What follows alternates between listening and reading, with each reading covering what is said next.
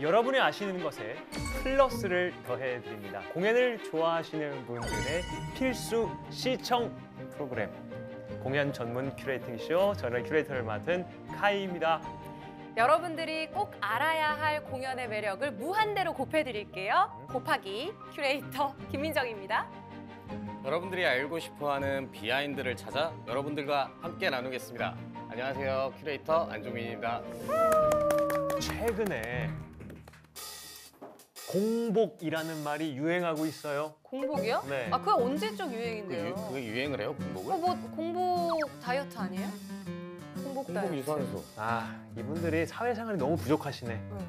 2021년의 공복이라는 뜻은 그 공복이 아닙니다. 공연에 반하다를 복습하다의 공복. 아, 공연에 반하다 복습이요? 그럼요. 아니 보고 온 공연을 또 보고 싶거나 아니면 정말 보고 싶은 공연이 이미 막을 내렸거나 어. 했을 때 우리 공연의 바나다 같은 프로그램이 없다. 아. 그래서 이 공연의 바나다를 통해서 복습을 한다 해서 공복. 오. 2021년 공복을 아. 잊지 마십시오. 여러분 저희를 믿으셔야 합니다. 이건 아세요? team.